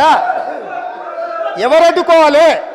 ఒక్క పక్కన వాళ్ళు ప్రాజెక్టులు పూర్తి చేసుకుంటుంటే వీళ్ళు ఇక్కడ ఆనాడు కోమటిరెడ్డి వెంకటరెడ్డి గారు కొట్లాడి నల్గొండ జిల్లాలో ఉన్న ఫ్లోరైడును అక్కడి బాధితులను ఆదుకోవడానికి ఎస్ఎల్బిసి ప్రాజెక్టు మంజూరు చేయించి నలభై రెండు కిలోమీటర్ల tunnel Rajiv Gandhi tiger reserve ఫారెస్ట్లో పర్యావరణ అనుమతి లేకపోతే టన్నెల్ బోర్ మిషన్ తోటి ఆ గుట్టను తొలిసి నీళ్ళు దేవాలని నలభై రెండు కిలోమీటర్ల టన్నెల్ని మొదలు పెట్టించి రెండు వేల పద్నాలుగు వరకు ముప్పై రెండు కిలోమీటర్ల టన్నెల్ కొట్టిండ్రు అధ్యక్ష. తెలంగాణ వచ్చినాక వీళ్ళకి అప్పచెప్తే పది కిలోమీటర్లు పూర్తి చేస్తే సంవత్సరంలో పూర్తి చేయాల్సిందని పదేళ్ళలో కలిసి కిలోమీటర్న్నర పూర్తి చేసారు అధ్యక్ష. ఇంతకంటే ఇంతకంటే చేతగానితనము తెలంగాణ ద్రోహి ఎవడని ఉంటాడా అధ్యక్ష? ఒకవేళ ఒకవేళ ఆ ప్రాజెక్టు పూర్తయిన ఉంటే నల్గొండ జిల్లాలో మూడు లక్షల అరవై నాలుగు వేల ఎకరాలకు గ్రావిటీ ద్వారా నీళ్ళు వచ్చే ప్రాజెక్టును పడావు పెట్టి ఈరోజు మీరు వదిలేసినందుకు ఇవాళ నల్గొండ జిల్లా రైతుల మీద మరణ శాసనం వాళ్ళు రాసిండ్రు అధ్యక్ష. అదేవిధంగా కల్వకుర్తి లిఫ్ట్ ఈనాటికి పూర్తి చేయలే. కల్వకుర్తి లిఫ్ట్ ఈనాటికి పూర్తి చేయలే. పాలమూరు రంగారెడ్డిలో ఇరవై ఏడు వేల కోట్ల రూపాయలు ఖర్చు పెడితే గుంట భూమికి కూడా నీళ్ళు ఇవ్వలే ఇవాళ కల్వకుర్తి పాలమూరు రంగారెడ్డి ఎస్ఎల్బిసి ఈ ప్రాజెక్టులన్నీ పూర్తయితే కూడా పర్ డే మనం రెండు టీఎంసీల నీళ్ళు కూడా తీసుకోలేము అధ్యక్ష. ఇవాళ నేను చెప్పదలుచుకున్న అధ్యక్ష ఆంధ్రప్రదేశ్ రాష్ట్రంలో పూర్తి చేసుకున్న ప్రాజెక్టులు పన్నెండున్నర టీఎంసీలు పర్ డే తరలించకపోవడానికి ఉంటే తెలంగాణలో శ్రీశ కృష్ణానది మీద కట్టిన ప్రాజెక్టులు మొత్తం కలిపి రెండు టీఎంసీలు కూడా కాదు అధ్యక్ష. పదేళ్ళు అవకాశం ఇచ్చిన ఈ పాలము రంగారెడ్డి లేకపోతే కల్వకుర్తి లేకపోతే ఎస్ఎల్బిసి పూర్తి చేయకపోవడానికి వీళ్ళ వీళ్ళు కారణం కాదా అధ్యక్ష? ఇంత అన్యాయము ఉమ్మడి రాష్ట్రంలో కూడా తెలంగాణ ప్రాంతానికి జరగలేదు. వీళ్ళ పాలనలో తెలంగాణ ప్రజల పట్ల కృష్ణానది జలాల మీద మరణ శాసనం రాసిండ్రు అధ్యక్ష. వీళ్ళు ఇయాల ఇయాల నేను అడుగుతున్నా వీళ్ళను. అధ్యక్ష ఇయాల వీళ్ళని నేను అడుగుతున్నా. మీకు ఏమైనా చిత్తశుద్ధి ఉంటే మేము చేసే ప్రయత్నంలో మేము చేస్తున్న పోరాటంలో రాజకీయాలు పక్కన పెట్టి ముందుకు రావాలి కానీ మా కాళ్ళలో కట్టెపెట్టి కింద పడేస్తే ఏమవుతుంది అధ్యక్ష? వీళ్ళకి అధికారం వచ్చుడు సంగతి దేవుడు ఎరుగు కానీ తెలంగాణ రైతుల జీవితాలతో చెలగాటమాడుతుండ్రు అధ్యక్ష. రాజకీయ స్వార్థం కోసము. ఇదా అధ్యక్ష ఇదా వీళ్ళ నుంచి ఆశించేది. పదేళ్ళు అధికారం ఇచ్చినా ఇంకా అధికార దాహం తీరలేదు. సెంటిమెంట్ రెచ్చగొట్టాలి దానికి ఆయింట్మెంట్ ఉయ్యాలి. వచ్చే ఎన్నికలలో డబ్బలో ఓట్లు వేసుకోవాలన్న ధ్యాస తప్ప ఈ సమస్యను ఎట్లా ఎదుర్కోవాలి?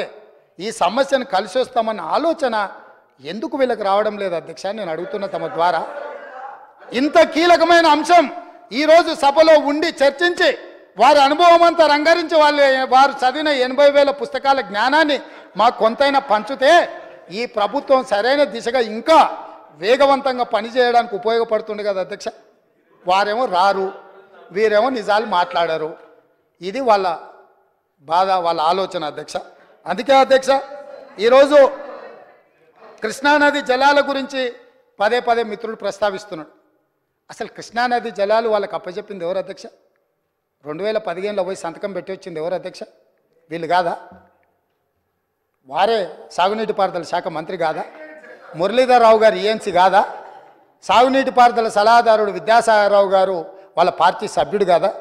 వీళ్ళందరూ పోయి ఎనిమిది వందల పదకొండు టీఎంసీల నికర జలాలు ఉమ్మడి ఆంధ్రప్రదేశ్కు కేటాయిస్తే ఆనాడు వీళ్ళు తెలంగాణ ప్రాంతంలో అరవై ఎనిమిది శాతం క్యాచ్మెంట్ ఏరియా ఉంటే అరవై ఎనిమిది శాతం వాటా మాకు నీళ్ళు రావాలని కొట్లాడాల్సింది పోయి ఎనిమిది వందల పదకొండు టీఎంసీలలో ఐదు వందల పన్నెండు టీఎంసీలు ఆంధ్రప్రదేశ్కు అధికారికంగా సంతకం పెట్టి మన తెలంగాణ రైతుల హక్కులను వాళ్ళకి దారిదత్తం చేసి రెండు వందల తొంభై తొమ్మిది టీఎంసీలకు సంతకం పెట్టి వచ్చిందే వాళ్ళ అధ్యక్ష. ఇంకా కూడా అబద్ధాలు బుకాయించాలనుకుంటారు పాపం. ఆయన ఎవరు? లేదు ఒక్క నిమిషం నామ నాగేశ్వరరావు గారు ఖమ్మం జిల్లా ఎంపీ. పాపం తెలియక ఆయన ప్రశ్న అడిగిండు పార్లమెంట్లో. ఎన్నడొచ్చింది? ఎనిమిది రెండు రెండు వేల ఇరవై నాలుగు నాడు. ఇవాళ ఎంత తారీఖు? తొమ్మిదా? నిన్ననే పాపం. నిన్ననే పార్లమెంట్లో సమాధానం ఇచ్చింది జలశక్తి మంత్రి తుమ్మల నాగేశ్వరరావు మన మండ ఎవరు? నామ నాగేశ్వరరావు గారు అడిగితే. ఏం చెప్పిండు? స్పష్టంగా తెలంగాణ రాష్ట్ర ప్రభుత్వం ఒప్పుకొని సంతకాలు పెట్టినందుకు నీటి కేటాయింపులు చేసిన ఇద్దరు కలిసి సంతకం పెట్టారు. సంతకం ప్రకారము రెండు వేల పదిహేను పదహారులో ఐదు వందల పన్నెండు పాయింట్ సున్నా నాలుగు టీఎంసీలు ఆంధ్రప్రదేశ్కి ఇచ్చినాం. తెలంగాణకు రెండు వందల తొంభై ఎనిమిది పాయింట్ తొమ్మిది ఆరు టీఎంసీలు తెలంగాణకి ఇచ్చినాం. Eighteenth and nineteenth June June second Telangana రాష్ట్రము ఏర్ప పద్నాలుగులో ఏర్పడితే సంవత్సరం తిరిగే లోపల eighteenth and nineteenth June two thousand fifteen వీళ్ళు పోయి సంతకాలు పెట్టారు అదేవిధంగా రెండు వేల మొదటి సంవత్సరం ఒకవేళ తెలిసి తెలవకనో అవగాహన ఉండి లేకనో అధికారంలోకి వచ్చిన ఆనందంలో ఏడ సంతకం పెడుతున్నామో చూసుకోక ఒకవేళ పెట్టిండ్రు అనుకుంటే సరే ఓసారి చూసుడన్నట్టు మనం ఏదన్నా అనుకోవచ్చు అధ్యక్ష. మళ్ళీ రెండు వేల పదహారు పదిహేడులో సేమ్ దాని ప్రకారమే ఇరవై ఒకటి అండ్ ఇరవై రెండు జూన్ రెండు వేల పదహారు నాడు మళ్ళీ సేమ్ సంతకం పెట్టారు అధ్యక్ష. రెండు వేల పదిహేడు పద్దెనిమిదిలో మళ్ళీ seventh meeting of board held four eleven two thousand seventeen. ఇట్లా రెండు వేల ఇరవై మూడు ఇరవై నాలుగు వరకు కూడా సేమ్ సంతకాలు పెట్టిరుగో ఇదే అధ్యక్ష నిన్న పార్లమెంట్లో కేంద్ర జలశక్తి మంత్రి సమాధానం ఇచ్చిండు. ఇది నేను ఇంకెవరో కాదు. నామ నాగేశ్వరరావు గారు వాళ్ళ పార్లమెంటరీ పార్టీ నాయకుడు లోక్సభలో అడిగితే వారికే జవాబు ఇచ్చిండ్రు అధ్యక్ష. ఇప్పుడు నేను మిత్రుడు హరీష్ రావు గారిని అడుగుతున్నా. ఏ ఏ ఏ- ఏ- ఏం ఏం జవాబు చెప్తావు? మొత్తం మొత్తము మొత్తము మొత్తము దారదత్తం చేసి మొత్తం దారదత్తం చేసి తెలంగాణ తెలంగాణ తెలంగాణ జల హక్కుల్ని సర్వం దారదత్తం చేసి సంతకాలు పెట్టి తెలంగాణ ప్రజల హక్కుల మీద మరణ శాసనం రాసిన మీరు ఇప్పటికైనా తప్పు తెలుసుకొని మేం చేస్తున్న ప్రయత్నంలో కలిసి వస్తారేమో అని మేము అనుకున్నాం కానీ ఇంకా కూడా ఇదే విధానం చేస్తే ఈసారి అక్కడ కూడా ఉండరయ్యా. అక్కడెక్కడో ఉంది కదా నాంపల్లి దర్గానో లేకపోతే బిర్లా మందిరం. అక్కడికి వెళ్తారు అధ్యక్ష ఇట్లా చేస్తే మాత్రం. అదేవిధంగా అధ్యక్ష పదే పదే పదే పదే మా మా మిత్రులు గొప్పతనం గురించి వరంగల్ గురించి మా సోదరులు చాలాసార్లు మాట్లాడుతూ ఉంటారు. ఒక జీవో కాపీ ఇవ్వదలుచుకున్న అధ్యక్ష ఒక్క ఒక్క ఒక్క నిమిషం మీరు అవకాశం ఇస్తే వారి గొప్పతనం మీద నేను చెప్పదలుచుకున్న అధ్యక్ష. అధ్యక్ష ప్రొఫెసర్ జయశంకర్ మీకు అందరికీ తెలుసు. వాళ్ళు ఒకవేళ మర్చిపోయినా మనందరం మర్చిపోలే. తెలంగాణ సిద్ధాంతకర్త. ఆయన విలేజ్ పేరు వచ్చేసి అక్కంపేట్. పరకాల శాసనసభ నియోజకవర్గంలో ఉంటాయి. వారు పుట్టి పెరిగి అక్కడనే ఉన్న అక్కంపేట విలేజ్ను రెవెన్యూ విలేజ్ కింద కూడా వాళ్ళు ప్రకటించలే అధ్యక్ష. ధరణి తెచ్చినాం దందాలు చేసినాం అని చెప్తారు తప్ప కనీసం జయశంకర్ గారు పుట్టి పెరిగిన ఊరు ఆయన చివరి కోరిక రెవెన్యూ విలేజ్గా అక్కంపేటను మార్చమని వారు కోరుకుంటే తొమ్మిదిన్నర సంవత్సరాలైన ప్రొఫెసర్ జయశంకర్ గారు సొంత ఊరుని తెలంగాణ రాష్ట్ర చిత్రపటం మీద రెవెన్యూ విలేజ్గా కూడా గుర్తించక ఒక అనాథలాగా వదిలేస్తే మా ప్రభుత్వం వచ్చినాక జీవో ఆర్టీ నెంబర్ నాలుగు వందల ఐదు ఏడు పన్నెండు రెండు వేల ఇరవై మూడు. ఎన్నడు అధికారం చేపట్టిన అధ్యక్ష? ఏడు తారీఖు నాడు. డిసెంబర్ ఏడు నాడు అధికారం చేపట్టిన మరుక్షణం ప్రొఫెసర్ జయశంకర్ గారు సొంత ఊరును రెవెన్యూ విలేజ్గా ప్రకటించి జీవో ఇచ్చింది ప్రొఫెసర్ జయశంకర్ గారు సిద్ధాంతకర్తను. గౌరవించిన గొప్ప చరిత్ర మా ప్రభుత్వాన్ని వారి గ్రామాన్ని రెవెన్యూ విలేజ్గా తీర్చిదిద్దింది మా ప్రభుత్వం అధ్యక్ష. మేమెప్పుడు ఈ గొప్ప వ్యక్తులను ఎప్పుడు మేము ఈ చిన్న చెప్పు చూడలే. వాళ్ళు పార్టీ పెట్టుకున్న రోజు వాళ్ళకు నిల్వ నీడనిచ్చిన కొండా లక్ష్మణ్ బాపూజీ జలదృశ్యాన్ని వాళ్ళ పార్టీ ఆఫీస్కి ఇస్తే కనీసం ఆయన చనిపోయినప్పుడు చివరి చూపులకు కూడా వారిని చూడడానికి వారిని పరామర్శించడానికి పోలే. అట్లాంటిది మీరు తెలంగాణ గొప్పతనాల గురించి తెలంగాణ త్యాగాల గురించి మీరు మాట్లాడితే ఎట్లుంటే దయ్యాలు వేదాలు ఒలవేసిండ్రు అని ఏదో అంటారు కదా వీళ్ళని చూస్తే దయ్యాలు కూడా సిగ్గుపడేటట్టే ఉన్నాయి అధ్యక్ష అమ్మ వీళ్ళని మాతో పోలుస్తారు అదే అదే చెప్పిన అవి కూడా వీళ్ళని చూస్తే కొంచెం వెనక ముందు అయ్యేటట్టుంది. అదేవిధంగా అధ్యక్ష అదేవిధంగా అధ్యక్ష కొమరం భీమ్ ఎవరు అధ్యక్ష? కొమరం భీముడు. ఎవరి కొరం కొమరం భీముడు? జల్ జమీన్ జంగుల్ అని చెప్పి ఆ రోజు ఆదివాసీల కోసం యుద్ధం చేసిన పోరాట యోధుడు అధ్యక్ష మనకు స్ఫూర్తి ప్రదాత. కొమరం భీం ఘాటు ప్రకటించి దాన్ని పూర్తి చేయక గాలికి వదిలేస్తే తొమ్మిదిన్నర సంవత్సరాలు అక్కడ ముప్పై ఇండ్లు మంజూరు చేసి నిధులు ఇవ్వక కొమరం భీం వారసుల కాడ ఇల్లు కట్టించడానికి వీళ్ళు నిధులు ఇవ్వకపోతే ఒక ఆరు మంది సొంత డబ్బులతో ఇల్లు కట్టుకున్నారు. ఒక ఆరు మంది మాకు వద్దని పునాదులు వేయలేదు. మిగతా పద్దెనిమిది మంది నిధులు లేక మొండి గోడలతో నిలబడితే మా ప్రభుత్వం వచ్చిన వెంబడే కొమరం భీం వారసులకు ఇండ్లు కట్టించడానికి పాతి కోట్ల రూపాయలు మంజూరు చేసి ఆ ప్రాంతాన్ని మొత్తం అభివృద్ధి చేయండి అని చెప్పి కొమరం భీం వారసులకు ఇండ్లు కట్టించే బాధ్యత ఏడు తారీఖు నాడు మేము నిర్ణయం తీసుకున్నాం అధ్యక్ష. ఇదే కాదు అధ్యక్ష ఇంద్రవెల్లి. ఇంద్రవెల్లి అంటేనే రోమాలు నిక్కబొడుచుకుంటాయి అధ్యక్ష.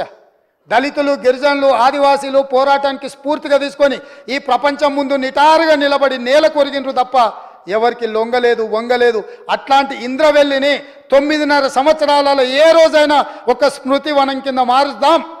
ఒక స్ఫూర్తినిచ్చే పుణ్యక్షేత్రంగా చేద్దామని ఏ రోజైనా ఆలోచన చేసిండ్రా అధ్యక్ష?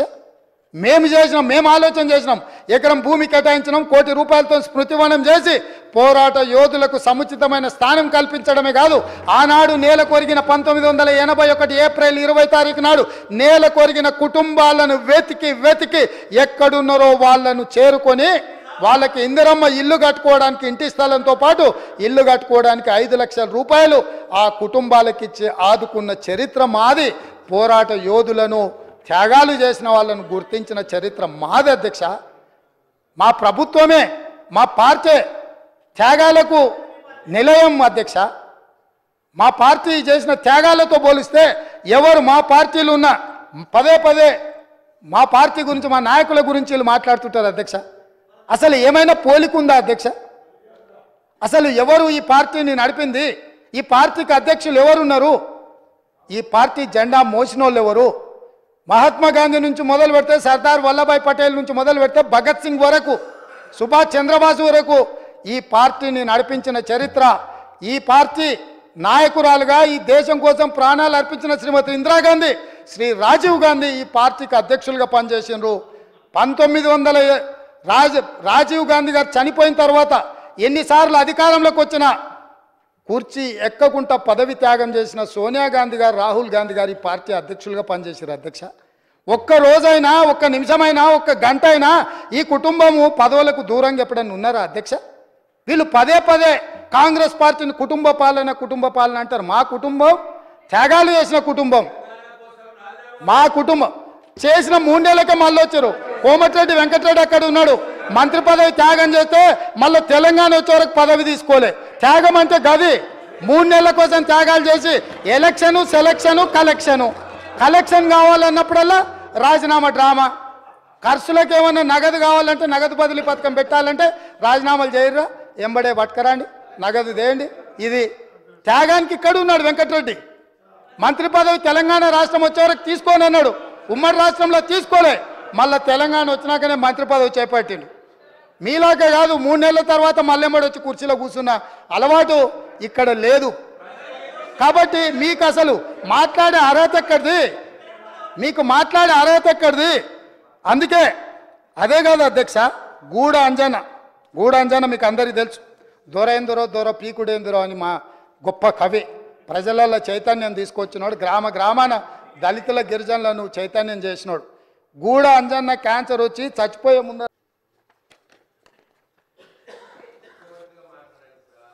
చూపించి మాట్లాడదామని నీకు? ఎందుకంటే ఆధారాలు ఉంటే కానీ నీకు ఆనదు కదా.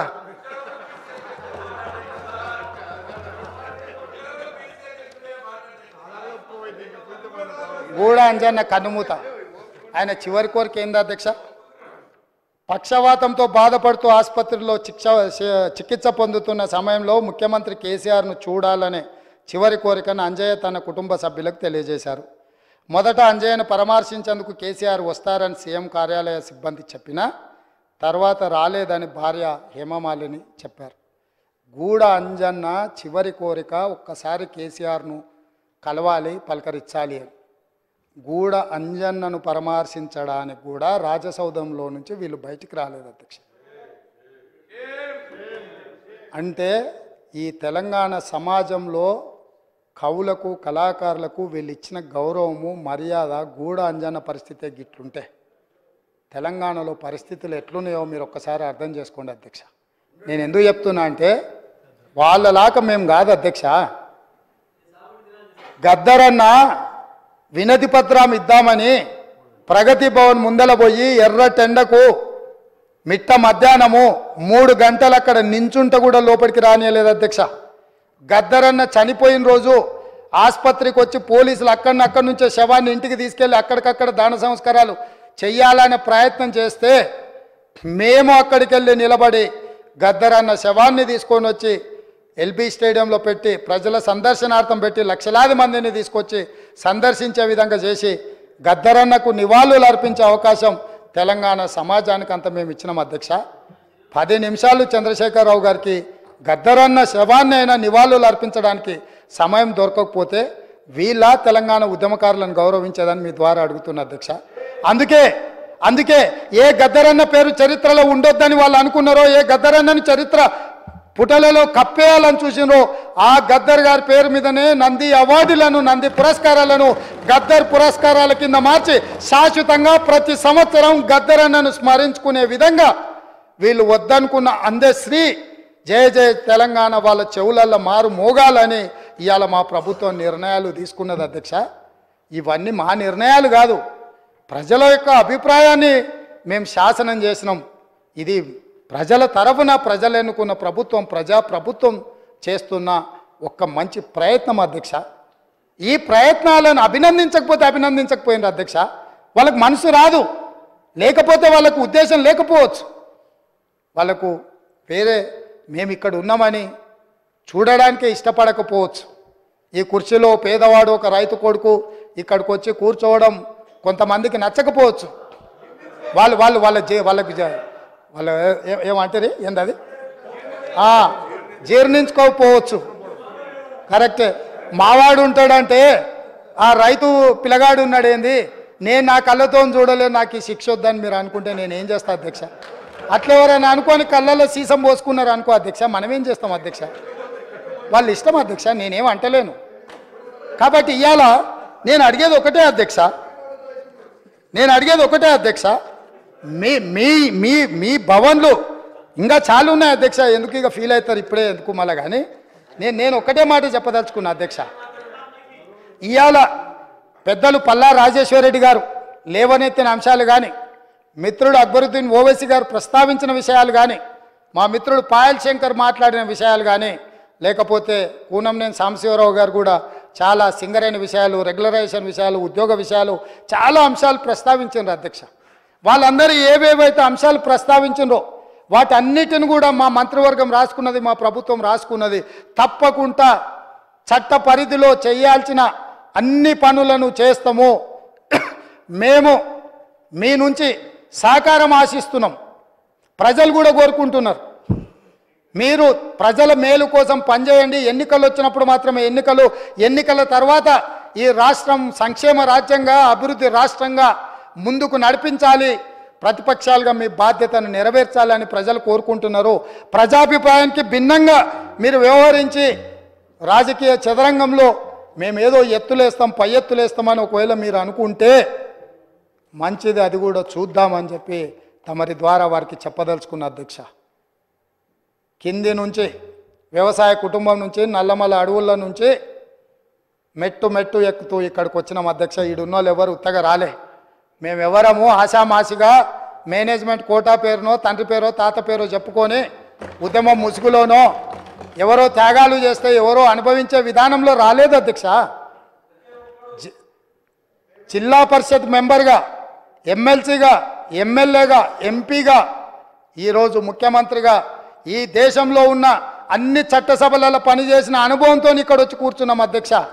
ప్రజల యొక్కను ప్రజల యొక్క అభిప్రాయాన్ని అరవై రోజులు మొత్తం తీయండి అధ్యక్ష. ఏ ఒక్క రోజైనా ఏ ఒక్క గంట అయినా ప్రజలకు అందుబాటులో లేకుండా మా ప్రభుత్వం ఉన్నదా? ఆనాడు మేమే స్వయంగా పార్టీ అధ్యక్షుడిగా పార్లమెంట్ సభ్యుడిగా సచివాలయంలో ఒక అధికారిని కలవడానికి అక్కడికి వెళ్తే వందలాది పోలీసులు చుట్టుముట్టి అంతర్జాతీయ తీవ్రవాదిని నిర్బంధించినట్టు మొత్తం బంధించి తీసుకుపోయి మా ఇంటి దగ్గర పడేసిరు అధ్యక్ష. ఒక ఆదివాసి బిడ్డ సీతక్క సెక్రటేరియట్లో పోయి ఒక వినతి పత్రం ఇస్తామంటే ఆడబిడ్డ అని కూడా చూడకుండా ఆమెను పోలీసులు అరెస్టు చేసిండ్రు అధ్యక్ష. ఎవరి కోసం కట్టిండ్రు అధ్యక్ష? ఎవరి కోసం ఆ- సచివాలయము? ప్రజాప్రతినిధుల కోసం ప్రజల సందర్శన కోసం కాదా? ఎవరు ఆస్తి అది? ఎవరి కోసము? ఎవరు ఎవరు ఎవరి పరిపాలన అక్కడి నుంచి జరగాలి అధ్యక్ష? ప్రజలే రాని అని ప్రగతి భవన్లు ప్రజలనే రాని అని సచివాలయాలు ఈ తెలంగాణ రాష్ట్రంలో ఎంతకాలం సాగుతాయని వాళ్ళు విర్రవీగుతున్నారు అధ్యక్ష. అందుకే ప్రగతి భవన్ గోడలు బద్దలు కొట్టినము. సచివాలయం గేట్లు బార్లా తెరిచినము. ప్రజాప్రతినిధులందరినీ రమ్మని చెప్పినాము వాళ్ళు చెప్పేది వింటామని చెప్పినాము. మానవత్వంతో సమస్యల్ని పరిష్కరిస్తామని చెప్పినాము. అందుకే ఈరోజు అధ్యక్ష తమరి ద్వారా వారు బాధ్యతాయుతమైన ప్రతిపక్షంగా సమస్యల్ని లేవనెత్తండి పరిపాలనలో సహకరించండి.